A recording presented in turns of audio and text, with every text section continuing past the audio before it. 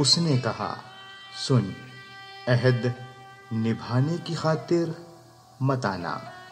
अहद निभाने वाले अक्सर मजबूरियाँ या महजूरी की थकन से लौटा करते हैं। तुम जाओ और दरिया दरिया प्यास बुझाओ। जिन आँखों में डूबो, जिस दिल में उतरो, मेरी तलब आवाज़ न देगी।